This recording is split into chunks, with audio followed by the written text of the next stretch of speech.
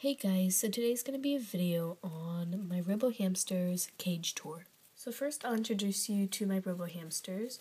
The first one is Sephora and she's the brown one. And her birthday is actually on May 23rd, so I'm really excited about that. I'll make a birthday video for sure.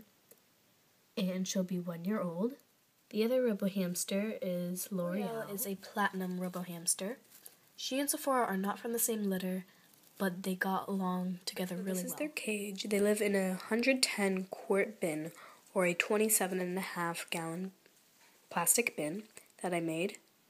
And I just like cut out that space, that, and that, and put chicken wire over it. So we'll start over here with the water bottle.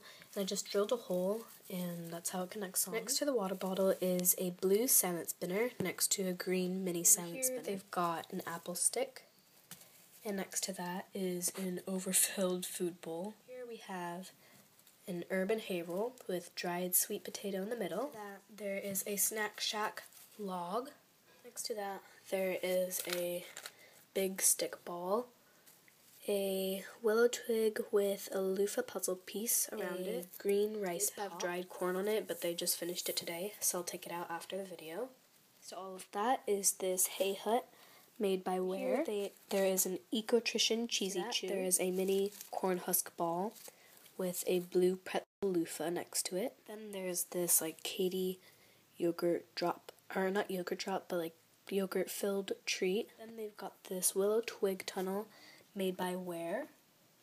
Like right next to this, there's they made a little nest here, and they like dragged a couple other toys in there. And there's this bedding covered mini sisal ball with a bell inside of it. Next to that, under all the bedding, is this apple carousel chew toy that they have been chewing on. And it has little loofahs inside of it.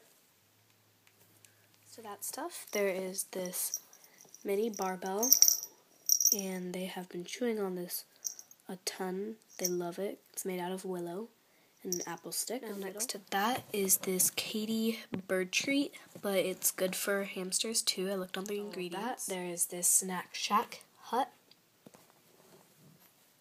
And they have been chewing on Last that thing too. in their cage is this Super Pet apple slice chew.